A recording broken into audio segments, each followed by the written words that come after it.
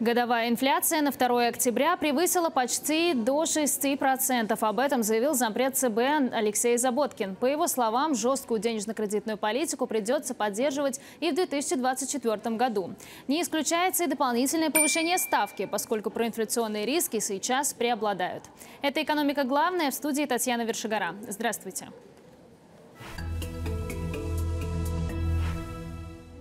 Сбер с начала года заработал более триллиона рублей. Это следует из сокращенной отчетности банка по РСБУ. Скорее всего, организация к концу 2023 побьет рекордный результат 2021. Тогда организация заработала триллион 200 миллиардов рублей. Также, несмотря на двузначную ставку, в сентябре Сбер заработал 130 миллиардов рублей. Это чуть больше среднего значения за месяц. Сбер обеспечил рентабельность капитала на уровне 25%. Кредитный портфель Сбера вырос более чем на 20% с начала года. Средства физических лиц увеличились за месяц на 1,9% и превысили 21 триллион рублей. Однако высокая ставка все же отразилась на крупнейшем российском банке. В сентябре Сбер снизил выдачу потреб кредитов на 20%. В самой организации это также связывают с ужесточением регулирования по потреб кредитам. По данным Франк РЖ, российские банки в целом в сентябре сократили выдачу необеспеченных суд на 22% до 580 миллиардов рублей. Эксперты же подчеркивают, что в ближайшие месяцы кредитная активность организации будет только падать последующие месяцы мы увидим определенное замедление темпов роста прибыли, поскольку, опять же, начнут э, действовать жесткие макропотенциальные лимиты в необеспеченном потребительском кредитовании, ограничение на ипотеку, в частности, начнет действовать требования по увеличению минимального первого взноса по ипотеке, выдаваемой в рамках госпрограмм.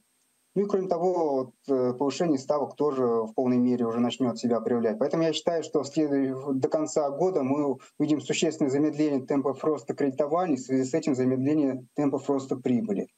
На фоне роста ключевой ставки до 13% банки ухудшили условия по необеспеченным кредитам. Средние ставки по ним превысили 20%. Кроме того, с 1 сентября для организаций выросли надбавки, которые они должны использовать при выдаче займов наличными. Аналитики подчеркивают, что все эти факторы могут негативно отразиться на финансовых результатах сектора за четвертый квартал.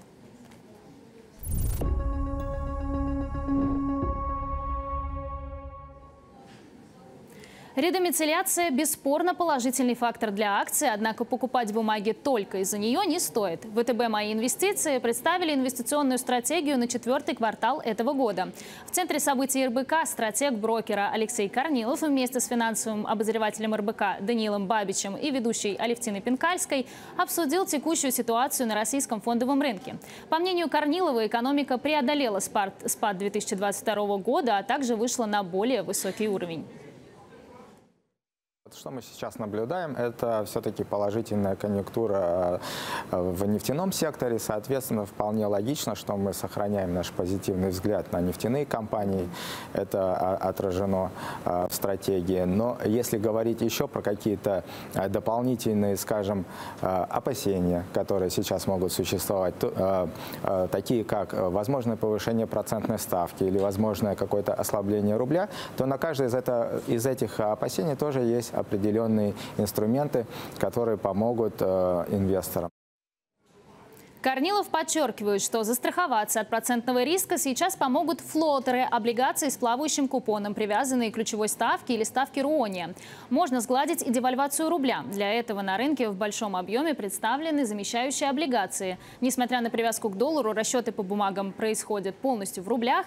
При этом заработать можно до 8-9% годовых в американской валюте. В свою очередь на рынке акций также есть несколько интересных идей. Например, акции экспортеров, которые еще не полностью отыграли повышения цен на нефть. Впрочем, бумаги других эмитентов тоже выглядят сейчас немного недооцененными, считает Корнилов. По поводу индекса Мосбиржи, действительно, это этот процесс восстановления еще не закончен. Если э, мы э, смотрим э, в будущее, то у индекса, несомненно, есть потенциал.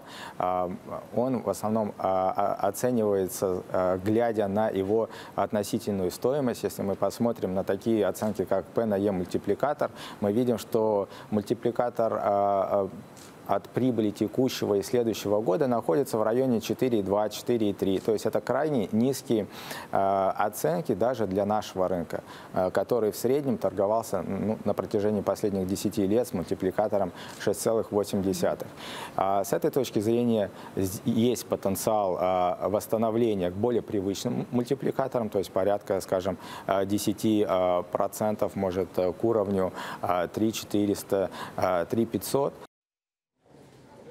При этом Корнилов уверен, на российском рынке в скором появится все больше эмитентов, и тема IPO станет более актуальна. Тот же сегмент технологических компаний сейчас представлен не так широко, однако уже 13 октября на биржу выходит группа компаний «Астра» – российский разработчик программного обеспечения. При благоприятной рыночной конъюнктуре IPO будут проходить все чаще, отмечает инвестиционный стратег ВТБ «Мои инвестиции».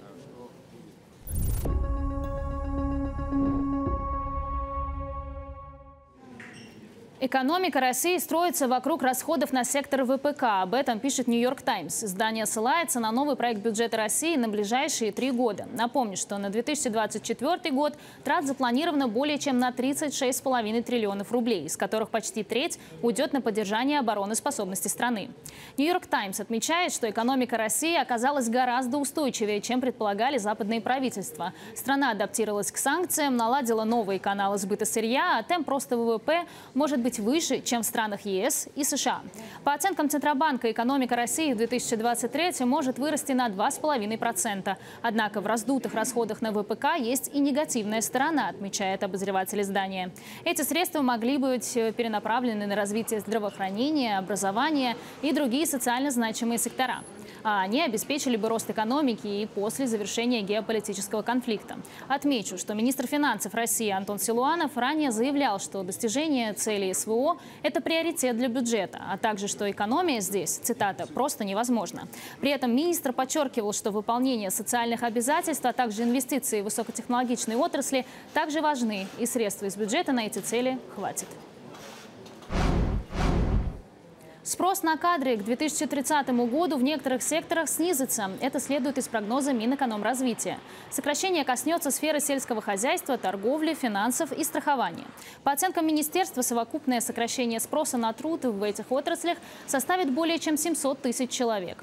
Так, спрос на кадры в сельскохозяйственном секторе снизится на 300 тысяч человек, в торговле на 200 тысяч, в финансовой и страховой деятельности на 100 тысяч. Также на 100 тысяч человек ожидается сокращение спроса и на специалистов в сфере недвижимости недвижимости. Это цифры из чернового варианта, однако после согласования позиции с Минтрудом данные были немного изменены. Так, например, в секторе торговли ожидается уже не такое глубокое снижение. При этом расти спрос будет в обрабатывающих производствах, здравоохранении, транспортировке и хранении, а также в научной сфере и сфере информационных технологий и связи. Как отмечает ведомство, потребность сотрудников будет определяться, исходя из задач по укреплению технологического суверенитета и развитию импортозамещения населения. При этом власти подчеркивают, что на рынке труда в России формируется дисбаланс, а привлекать дополнительную рабочую силу стало труднее. Это ограничивает темпы трансформации экономики. Напомню, что по данным Росстата в июле уровень безработицы составил рекордно низкие 3%, а за год доля неквалифицированных сотрудников выросла с 18 до 20%. Артемий Лебедев стал директором по дизайну ВКонтакте. Об этом сообщила пресс-служба соцсети. В сообщении указано, что он будет управлять дизайном продуктов платформы, формировать подходы к работе над использованием, над пользовательским интерфейсом, а также разрабатывать общее видение дизайна социальной сети. Цитата «Кайф». Конец цитаты. Так прокомментировал собственное назначение сам Артемий Лебедев. ВКонтакте также отметили, что одноименная студия дизайнера реализовала более пяти тысяч проектов от схемы московского метро до сайтов Билайна и Альфа-банка. Также накануне Лебедев заявил, что занял второе место на конкурсе по разработке мастер-плана Грозного. На этом у меня все. Оставайтесь на РБК.